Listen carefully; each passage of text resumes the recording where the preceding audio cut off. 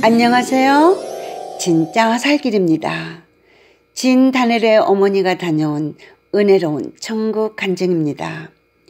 어느 주일 아침 어머니는 아침 예배가 끝난 뒤에 목사님을 만나고자 하셨다. 교회 문 앞에서 어머니는 목사님에게 중요한 일에 대해 얘기를 해도 좋겠느냐고 물으셨다. 그녀가 목사님과 단둘이 비켜서서 대화를 나누는 것을 보았다. 주일 저녁 예배 후 나는 불현듯 어머니 방에 들어가 봐야겠다는 생각이 들었다. 어머니, 나는 문 사이로 고개를 들이밀었다.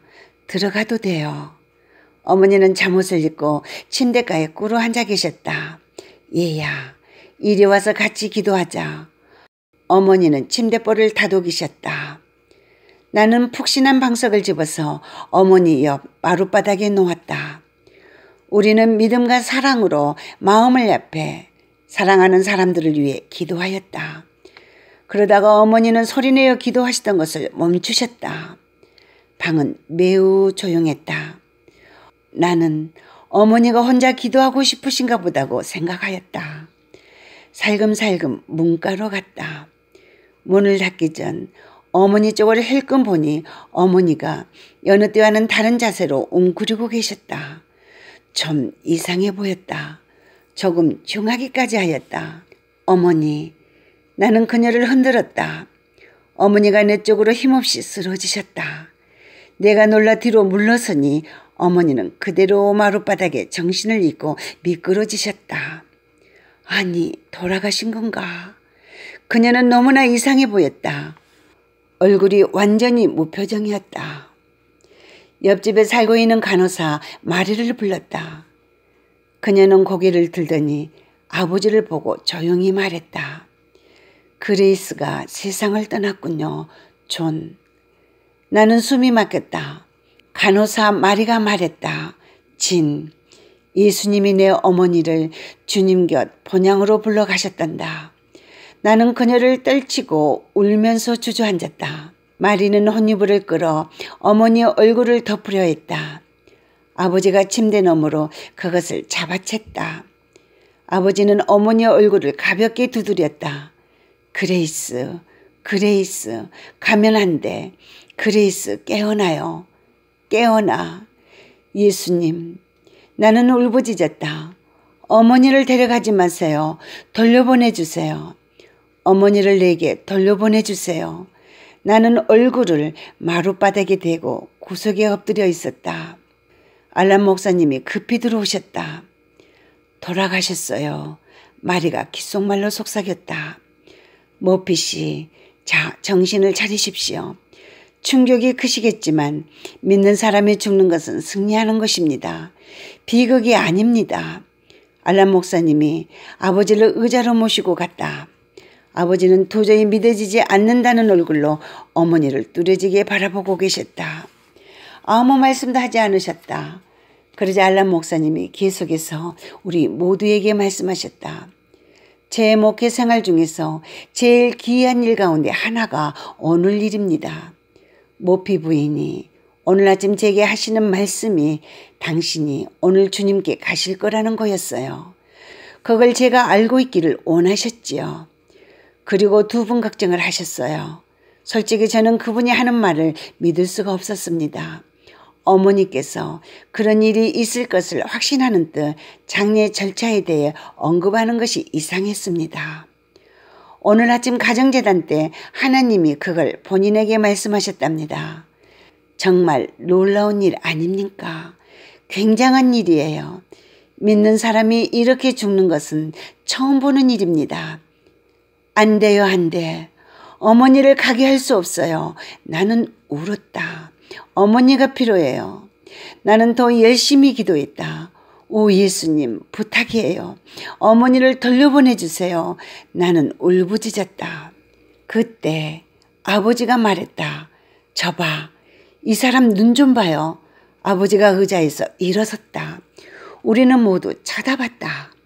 어머니의 눈꺼풀이 초점 없는 눈동자 위로 파르르 떨렸다.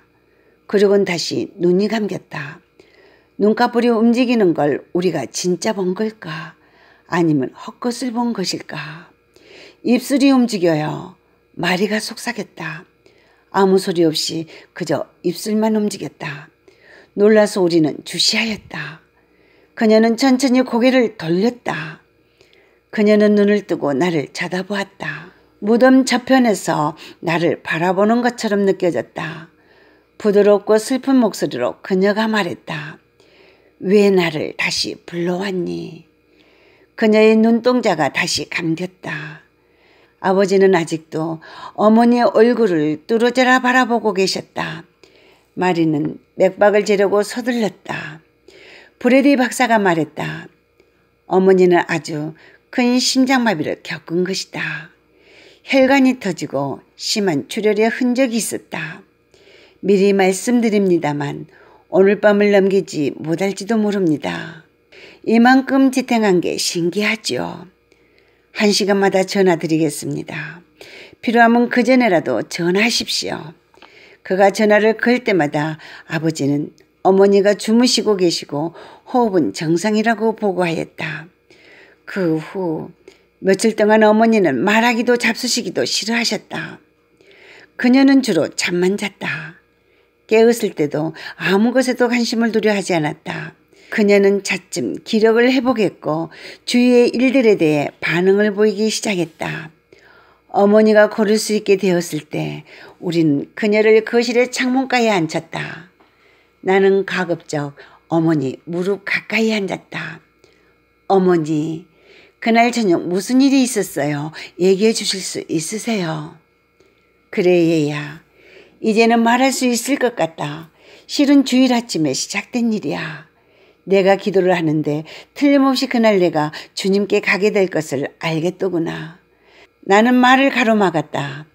어머닌 슬프지 않으셨어요. 아버지와 저를 남겨놓고 가시는 게 말이에요. 걱정 안 되셨어요. 아니, 슬픈 것도 기쁠 것도 없었어. 그냥 확실하고 확정적인 것 같기만 했어. 선택의 여지가 없어서 그냥 받아들였단다. 내가 걱정이 되긴 했지. 내가 잘 견디리라는 것을 알겠더구나. 이것이 하나님의 뜻인 것을 알았지. 목사님에게는 너에 대해 이야기를 해야겠다는 생각이 들었어. 기억나지? 후에 교회 문 앞에서 알람 목사님하고 얘기했던 일 말이야. 나는 고개를 끄덕였다. 하루 종일 그 일이 일어나기를 기다리고 있었단다. 내가 같이 기도하겠다고 방에 들어왔을 때 나는 주님이 아주 가까이 계시다는 것, 그리고 함께 있으라고 주님이 너를 보내셨다는 것을 알았지. 우리가 기도할 때 예수님을 배웠어. 그분이 방으로 걸어 들어오셔서 내게로 오시더니 그레이스야 너를 집으로 데려가려고 왔단다 라고 하시더구나. 저는 못 봤는데요. 내가 끼어들었다. 그래야 한다. 어머니가 말씀하셨다. 어머니는 주님이 자기 이름을 부르셨을 때 얼마나 행복했던가를 상기하고 계셨다. 어머니는 그때 정말 온전히 주님의 뜻에 자신을 내어 맡겼다고 하셨다. 그러자 주님이 그녀의 머리를 쓰다듬으셨고 자신의 영이 몸을 떠나는 것을 느꼈다. 나는 다시 어린애가 된 것 같았단다. 마치 아홉 살 어린애가 된 것 같았어. 그곳에는 아무런 염려도 근심도 고통도 고달픔도 없었다. 나는 구세주 곁에 있는 작은 아이였단다. 내 손을 잡아주셨어. 잠깐 내 옛몸이 침대가에 웅크린 채로 남겨져 있는 것과 내가 무릎을 꿇고 있는 것을 볼 수 있었어. 그런데 다음 순간 그 세계가 없어져 버렸어. 모든 것이 사라졌단다. 우리는 다른 차원에 서 있었어. 기이한 세상, 주위는 온통 깜깜했지. 눈이 닿는 곳은 온통 암흑이었어. 예수님과 내가 서 있는 곳만 빼고는 예수님이 안 계셨더라면 얼마나 무서운 곳이었을지 우리 발치에 빛이 있더구나. 한 줄기 빛인데 눈 닿는 데까지 끝없이 위로 이어져 있더라. 예수님과 나는 이 빗줄기를 따라서 알지 못하는 곳으로 가기 시작했어. 손을 마주 잡고 이를 향해 갔지. 얼마나 멀리요. 아주 길게 느껴지던가요? 아니, 시간이나 거리에 개념이 없었어. 다른 세상이었지. 시간도 없고 잴 수도 없는 그러나 방향은 있었어. 우리가 위를 향하고 있다는 것은 확실히 알았으니까. 전혀 새로운 세상으로 들어가 있었어. 설명이 잘 안 되는구나. 우리가 아는 이 세상과는 너무 다른 곳이야. 뭐가 같다고 해야 할지, 넓은 공원 같다고나 할까. 세상에서 제일 아름답고 평안하고 푸른 공원과도 같았어. 눈에 보이는 것은 온통 평화롭고 편한 융단처럼 부드러운 녹색 산들로 이어지고 있었어. 풀밭이 아니라 우리가 알지 못하는 다른 물질로 깔려 있는 것 같았지. 어머니가 경험한 것을 말로 표현하기 힘들어하는 모습이 역력했다. 어머니 좀 쉬세요. 커피 한 잔 가져다 드릴게요. 얘기 그만하고 싶으세요. 나는 커피를 건너드리며 물었다. 어머니에게 보여진 그 귀한 세계를 설명한다는 것이 오히려 그것의 값어치를 떨어뜨리는 것이 아닐까 하는 우려가 생겼다. 아니야.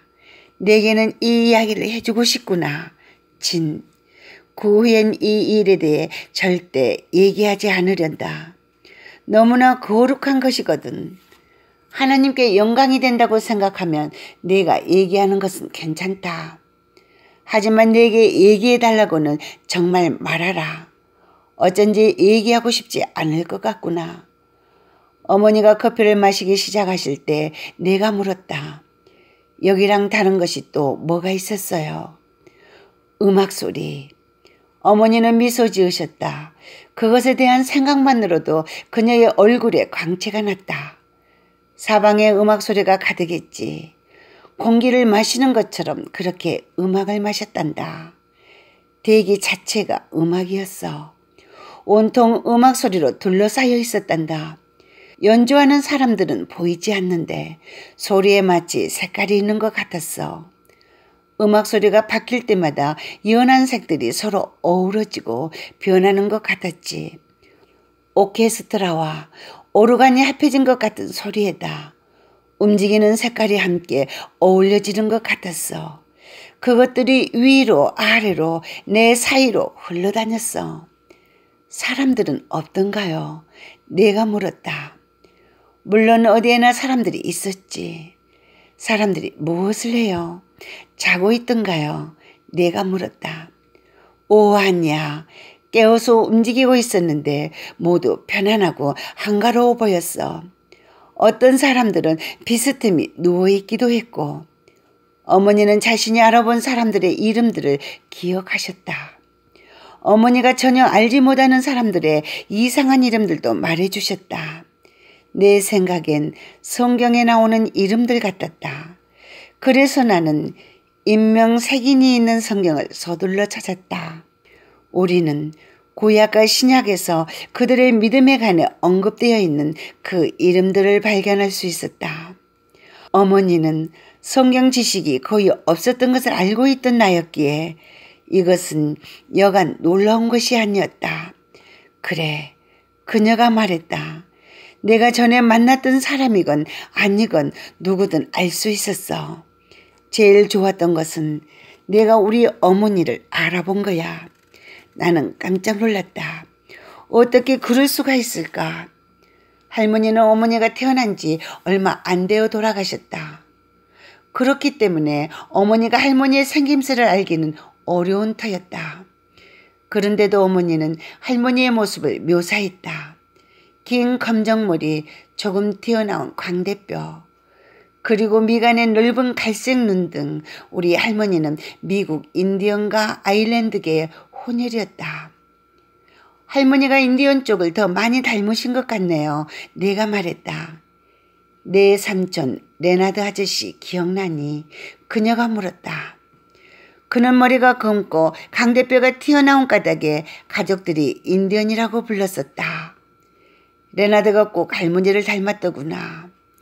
어떻게 그렇게 확신할 수 있으세요, 어머니? 내가 물었다. 나도 모르겠어. 하지만 우리가 여기 같이 앉아 있는 것이 확실한 것처럼 그것도 그렇게 확실하구나. 어머니를 천국에서 뵌 것은 사실이야. 어머니 아버지는요. 할아버지 얘기는 안 하셨어요. 이상한 표정이 어머니의 얼굴을 스쳐 지나갔다. 그렇구나 얘야. 글쎄 내가 지금 물어볼 때까지 전혀 아버지를 못 배웠다는 생각을 하지 않았구나. 그곳에선 그분에 대한 기억이 전혀 없었던 것 같아. 이상하지.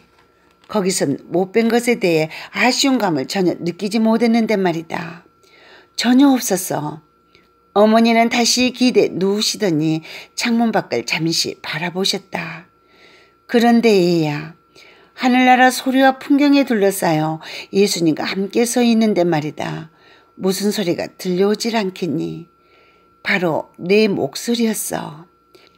내 목소리는 또렷하고도 집요했어. 예수님, 내 어머니를 돌려주세요라고 울부짖는 내 소리를 들었지. 예수님이 나를 보시더니 그레이스야 너를 돌려보내야겠구나 하시더라. 예수님이 내 손을 잡으셨고 우린 함께 그 좋은 곳을 떠나서 빗줄기를 타고 내려왔단다. 예수님께서 내 손을 놓으시는데 내가 이 피곤한 육신에 다시 자리 잡는 것을 느꼈지. 이상한 것은 이승의 것들을 조금씩 단계적으로 되찾기 시작했다는 거야. 처음에는 청각이 회복되더구나. 너를 보거나 내게 말할 수 있기 전에 제일 먼저 내가 기도하며 우는 소리를 들을 수 있었단다. 다음에는 눈을 뜰 수가 있었고 마지막으로 말을 할 수가 있었어.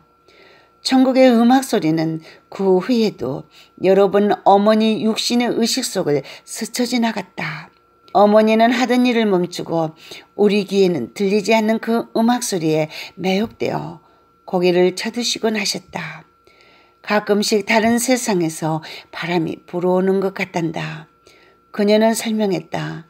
예진 천국이란 그리 먼 것이 아니로구나. 다른 차원에 있을 뿐이야. 정말 가깝기 때문에 우리 눈과 귀를 하나님이 만지시기만 하면 지금이라도 금방 보고 들을 수 있는 것이야. 나는 이 경험이 환상인가 아니면 꿈인가 궁금했다. 어머니가 정말 예수님과 낙원에 계셨던 것일까? 그녀는 정말 당신 어머니를 보았던 것일까? 실제로 보았단 말인가? 사촌인 레나드와 닮은 것까지 상세히 묘사하시는 것을 보면 확실한 것도 같았다. 몇 달 후에 이 모든 것이 실제임을 증명하는 구체적인 증거물이 우리 손에 들어왔다. 어머니는 완전히 회복되었다. 심장도 후유증 없이 회복되었다. 건강이 아주 좋아지셔서 우리는 웨스트 버지니아주의 친척들을 방문할 수 있었다. 우리는 깊은 산 속에 있는 가족농장을 방문하였다. 할머니의 언니가 그곳에 살고 계셨다. 이모 할머니라고 불리우던 그분은 최근 수년간 아주 위험있게 서서히 임종을 맡고 계셨다. 예수님이 어떻게 우리의 삶을 변화시켜 주셨는가를 들려드렸더니 그녀는 당신의 기도가 응답된 것이라면서 고개를 끄덕이며 우셨다. 우리가 침대 주위에 둘러서 있는데 그녀는 가족 중 한 사람을 부르더니 침대 가에 있는 오래된 상자에서 무엇인가를 꺼내오라고 시켰다. 그녀는 어머니에게 말했다. 그레스야, 이거 내 어머니가 쓰던 것들이다. 내가 태어나기 전에 이 상자에 넣어두었었는데 실상은 내 것이나 마찬가지지. 내가 갖도록 하여라. 우리는 모두 목을 빼고 들여다보았다.